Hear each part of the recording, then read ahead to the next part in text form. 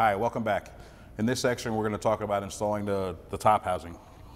The first thing we need to do is we're going to need to reconnect our tube to our barb fitting. Simply slide it over the barb fitting, reinstall our clamp, spread it apart, clip it on, tighten it back down with a pair of pliers.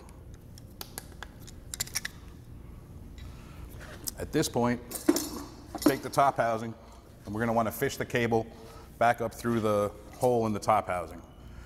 You can insert a, a fish tape if it'll assist you in putting it through. From this side, tape the, the cable to a fish tape and pull it through, or you can simply just line it up in the hole and push it through.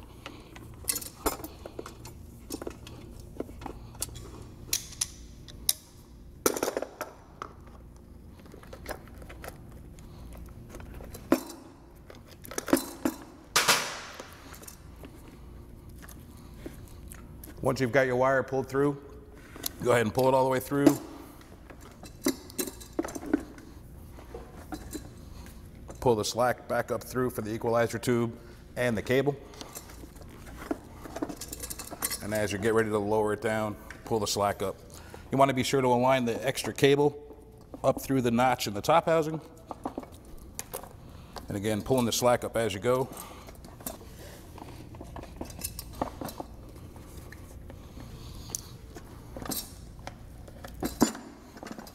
Until the top housing sits down on top of the control cover. It's important to remember to put your pieces back on in order that you took them off. Going to want to insert the black grommet first. Make sure you have it in the proper direction so it'll seat into the top housing.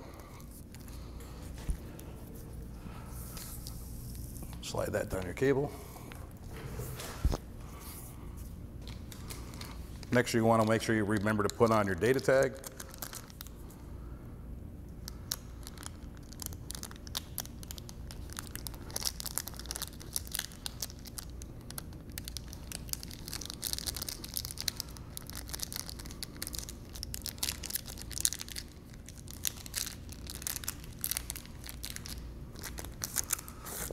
Slide that down your cable. Dust cap for the EQD.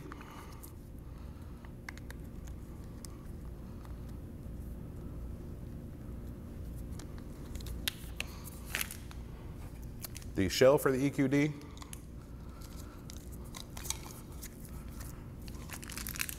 And at that point, we're ready to wire up the insert.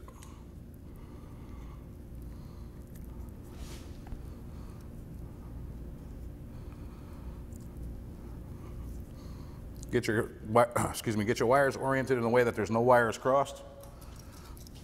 If you hold your insert, you'll see the wires on the back of the insert that are uh, numbered. Refer to the continuity charts for the proper pin codes and wire colors to associate uh, wiring up the insert the proper way.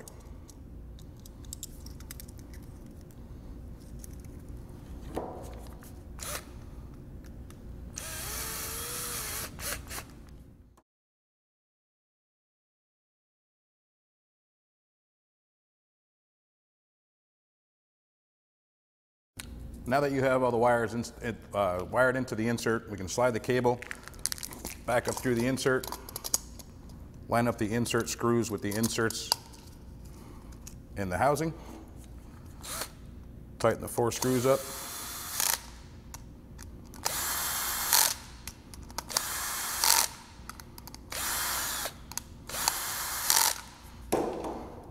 Remember to tighten the compression nut on the liquid tight cord grip.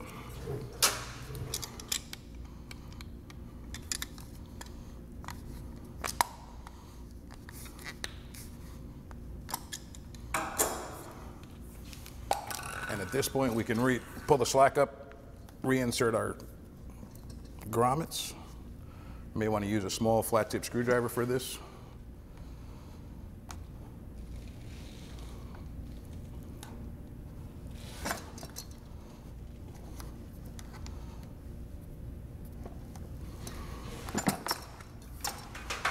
Once the grommets are all installed, go ahead and reinstall your clips on your hoses and cable.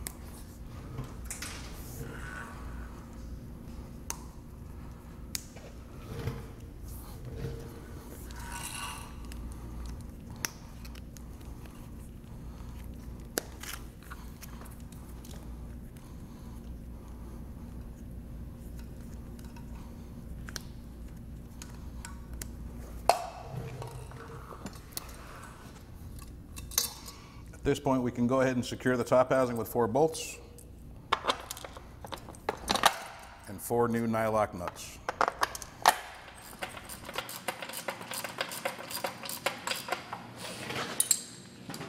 At this point, we can install the check valve.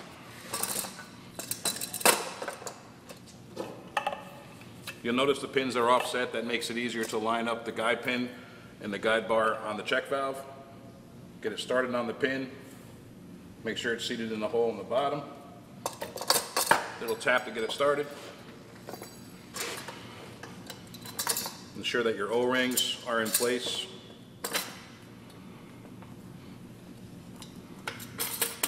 Tighten the compression nut on the check valve. Install the four 7 16 bolts. Make sure you have the washers in place. Get them started by hand.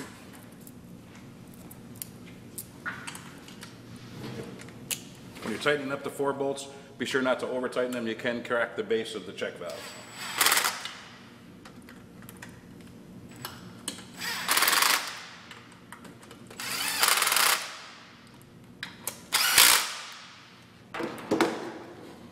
Once the check valve's all tightened up, be sure the cane-to-cane discharge is perpendicular with the pump. Go ahead and snug that up.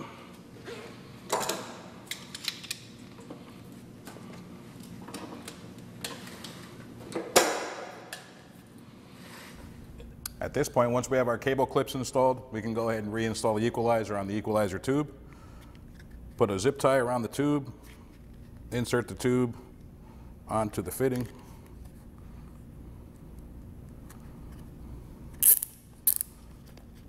Zip it tight. And we'll simply clip off the excess. And we can put a zip tie on the equalizer to the cable.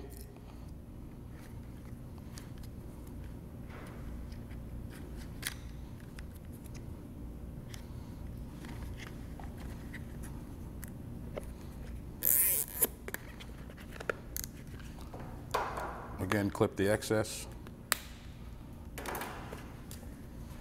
And this concludes the top housing installation portion of the video. Now that we've repaired the pump and reassembled the pump, it's now time to test it. To adequately test the pump, you're going to need a, a test uh, apparatus that has a water source, a flow meter. Our, our unit here shows a Protect Plus panel. A simplex panel will work just fine. A valve handle to throttle the pressure, a pressure gauge, and a tank, of course. I'll now enter the, or introduce the water, get it up to alarm level, turn the alarm breaker on on the panel. On the protect panel, the alarm light will come on during boot up stage, that's fine. Once the alarm illuminates like so, we can turn off our water source, turn the pump on, we'll watch the flow meter.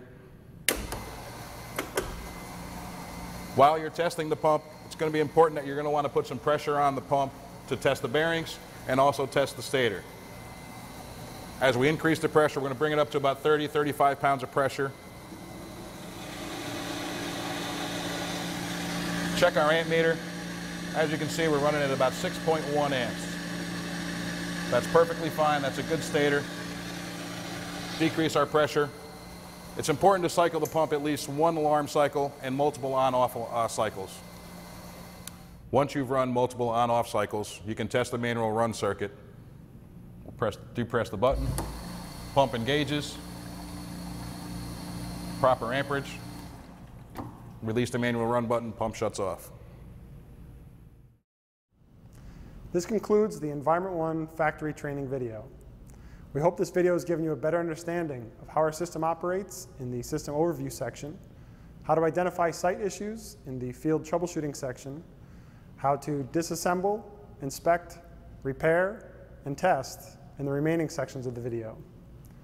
If you would like to attend a training session here at the factory, or if you'd like to talk to somebody about a remote training session, or even if you'd like to provide feedback on this video, please send us an email at ssbfieldservice at eone.com.